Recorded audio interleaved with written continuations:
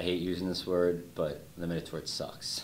yeah, it saves you money on your car insurance, but it's not worth it. Limited tort basically is the right to seek compensation from the at fault driver. The catch is on limited tort is you can't sue for any pain and suffering.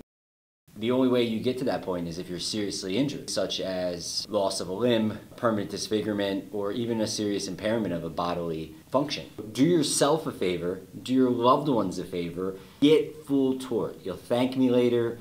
Limited tort sucks.